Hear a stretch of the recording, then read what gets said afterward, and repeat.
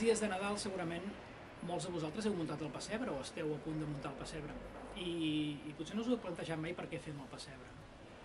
El pessebre eh, és una tradició popular relativament jove, però que té uns orígens molt més antics. Eh? Es, es feien pessebres com a, com a eh, objectes de devoció en els monestirs i en els convents, eh, molt antigament. Després aquests pessebres, eh, algunes famílies riques, algunes famílies nobles van voler també fer això que feien les monges o els monjos o els, o els, els religiosos en els convents van voler-ho fer a casa i moltes famílies això acomodades, riques, eh, encarregaven figures segons escultors i, i el pessebre era com un, com un, com un element d'ostentació social i eh, en aquests casos els pessebres a vegades eren elements de devoció també que els posaven per Nadal o a vegades eren simplement elements decoratius que estaven tot l'any posats a, a les cases no? i per Nadal per exemple es, es posaven i es destacaven en un lloc més endavant eh, ja va començar el, el, es va començar a fer el pessebre tal com el coneixem ja nosaltres, el pessebre de les cases. La gent popular, la,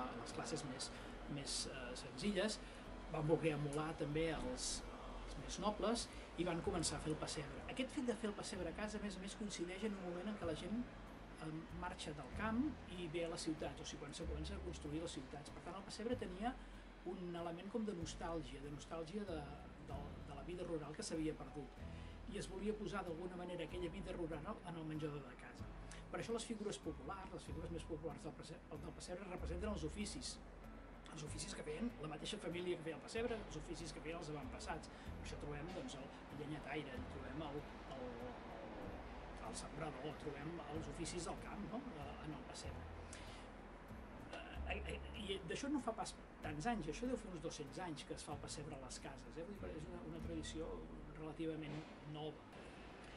Pensem que amb el pessebre no, no estem eh, representant un fet, no? Sí, representem el naixement de Jesús. Bueno, sí, però no representem un fet, perquè no sabem com va passar el naixement de Jesús.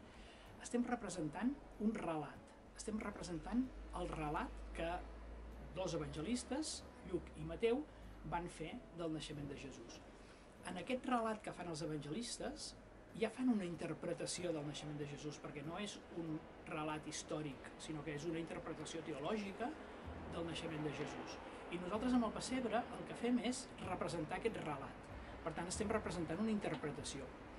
I això ho podem continuar fent, i per això és lícit i és bo que fem contemporani el pessebre i puguem representar el pessebre enmig de la nostra societat, enmig de la nostra ciutat.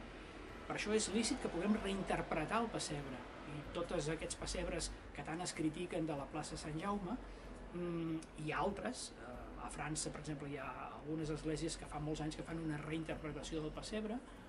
Aquestes reinterpretacions del pessebre són molt lícites perquè és fer el que sempre s'ha fet el més tradicional de fer el pessebre és reinterpretar-lo constantment